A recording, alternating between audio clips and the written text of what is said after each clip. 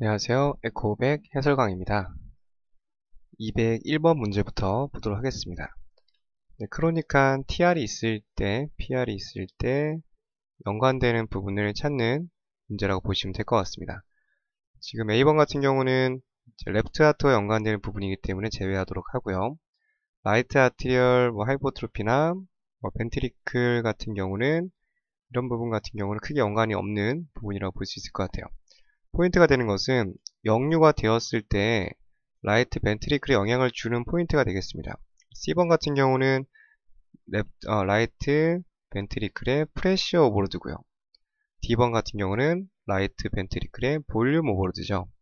아무래도 혈액이 다시 right ventricle 쪽으로 되돌아오기 때문에 가장 연관이 있는 보기는 right ventricle의 volume overload다 라고 보시면 될 것 같습니다.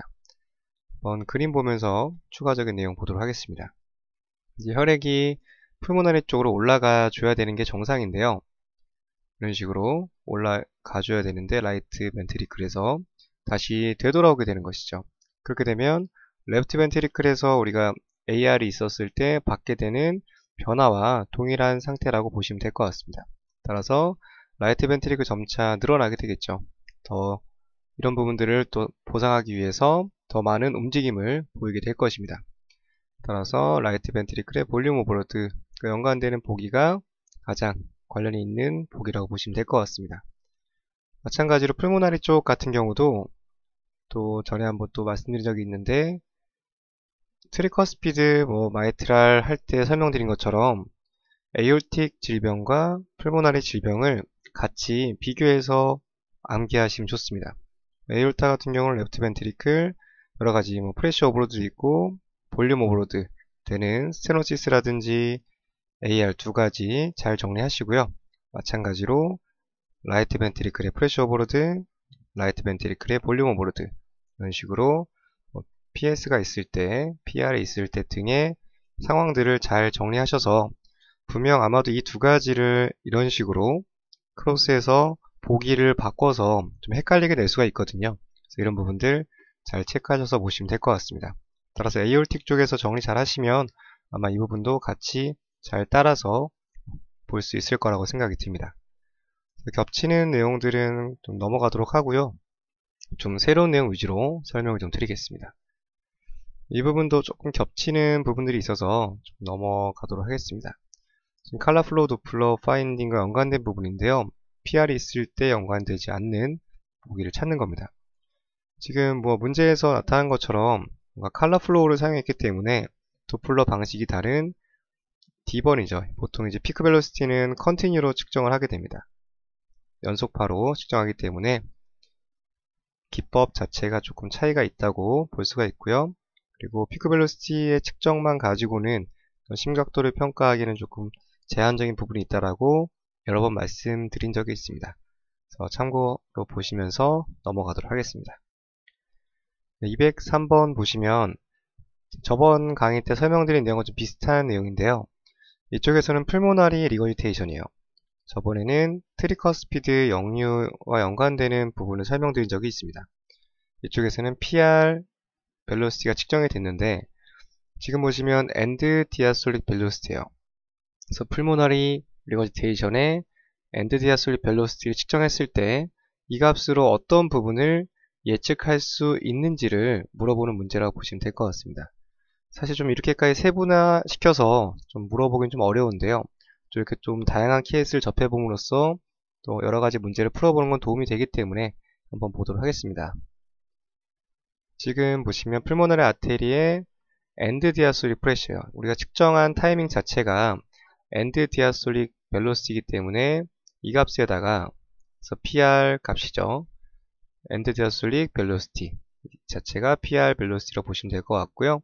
4 곱하기 V제곱에다가 right atrial pressure를 더해주면 여기 있는 pulmonary artery end diastolic pressure가 구해진다라고 합니다.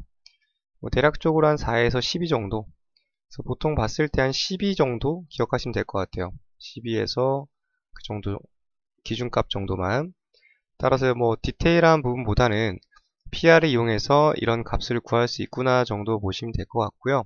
앞서 문제 다시 한번 보시면 네, 여기 있는 PR velocity 어떤 인자값을 사용했는지 먼저 확인해 주시고 문제에서는 이제 end diastolic velocity를 사용했다라고 되어 있기 때문에 그래서 연관되는 키워드인 C번이죠. pulmonary artery end diastolic pressure를 구한다 라고 보시면 될 것 같습니다. 뭐 시스톨릭과 좀 연관이 없다라고 볼 수가 있겠습니다. 같은 짝을 지어서 보시면 될 것 같아요. 이런 부분 좀 적절한 암기가 또 동반되어져야 되는 그런 부분이라고 보시면 될 것 같아요. 204번 문제 보도록 하겠습니다. 지금 비슷한 문제인데요. 이쪽에서는 피크 벨로시티를 측정을 했대요. 아까 전에는 end diastolic velocity 측정했었고 지금은 최고 속도를 측정한 상태입니다. 이렇게 되면 조금 구해지는 값에 차이가 생기게 되는데요. 다시 한번 보기 보도록 하겠습니다. 이렇게 해서 구해지는 값은 mean pulmonary artery pressure가 측정이 되게 돼요. peak velocity PR을 적용하게 되면 mean pulmonary artery pressure가 구해지게 된다. 마찬가지 보통 9에서 18 정도의 값을 가지고 있다. 사실 이런 부분은 어떤 기본적인 이해도 중요하지만 암기도 같이 동반되어져야 되는 부분이거든요. 그래서 아, 이런 수식을 가지고 있구나 정도 파악하시고요. 뭐 이런 부분들이 왜 발생되는지 일일이 다 따져보기보다는 뭐 말씀드린 것처럼 장비에서 보통 이런 값이 측정이 돼요. 임상적으로 뭐 계산기를 두들기면서 하나하나 뭐 손으로 계산할 일은 없기 때문에 이런 간단한 원리 정도와 수식 정도만 기억하시면 되고요. 너무 detail하게 하는 것은 뭐 직접적으로 크게 도움되지 않는 부분이 많기 때문에 뭐 정답 선택하실 정도만 내용 파악하시면 될 것 같습니다. 204번의 정답은 C번으로 보시면 될 것 같아요. 뭐 차이점으로 본다면 peak velocity를 측정했느냐 아니면 end diastolic PR을 측정했느냐의 차이로 인해서 mean pulmonary artery가 측정이 되는지 아니면 pulmonary artery의 end diastolic pressure가 측정이 되는지의 차이라고 보시면 될 것 같습니다. 다음 205번 보도록 할게요. 이제 valve disease는 이제 끝나게 되고요. 이쪽부터는 이제 most common하게 infective endocarditis 쪽으로 넘어오게 돼요. endocar 심내막염이죠. 심내막염 네, 간단하게 좀 설명을 드리겠습니다. 심내막염 들어가기 전에 엔도카다이티스의 가장 기본적인 개념인데요. 뭐 심장은 여러 가지 막이 있죠. 가장 안쪽에 내막이 있고 그 다음에 근막이 있습니다. 근육층 그리고 외막이 있다라고 보시면 될 것 같아요. 질병이 생기는 공간에 따라서 각각 명칭이 달라지게 되는데요. 간단하게 영어로 적어보면 뭐 엔도카디움 은 마이오 그 다음에 이쪽은 뭐 pericardium 대략적으로 적어보겠습니다. 그렇기 때문에 이쪽 내막에 생기는 염증인 거죠. carditis니까 따라서 심내막염 만약 근육층에 염증이 생기면 뭐 myocarditis, 심근염이라고 볼 수가 있겠고요. 그리고 좀 많이 다뤄지는 부분인데 외막에 생기게 되면은 pericarditis, 심장을 둘러싸고 있는 외막에 생긴 염증이다. 그래서 심외막염으로 구분하시면 되겠습니다. 따라서 앞에 있는 엔도라는 단어에 따라서 위치가 결정될 수 있고요. 이런 식으로 심장의 다양한 층에 따라서 생겨지는 질병의 차이가 생길 수 있다고 보시면 될 것 같아요. 엔도카다이티스는 심장 가장 안쪽 막에서 생겨지는 염증이라고 기본적으로 보시겠습니다. 여기서 가장 중요한 포인트 중에 하나는 어쨌든 염증이 생겼잖아요. 몸속에 염증이 생긴 건데 infective endocarditis가 생길 정도면 아마 전신에 염증이 많이 퍼져 있을 겁니다. 염증이 퍼지게 되면 물론 다양한 증상들이 있겠지만 아무래도 이런 발열 증상이 생길 수 있겠죠. 염증이 생기게 되면 점점 붓고 열이 나는 증상이 생기는 그런 모습을 상상하시면 될 것 같습니다. 따라서 fever라는 이 단어가 나중에 infective endocarditis와 가장 짝이 많이 이루어져요.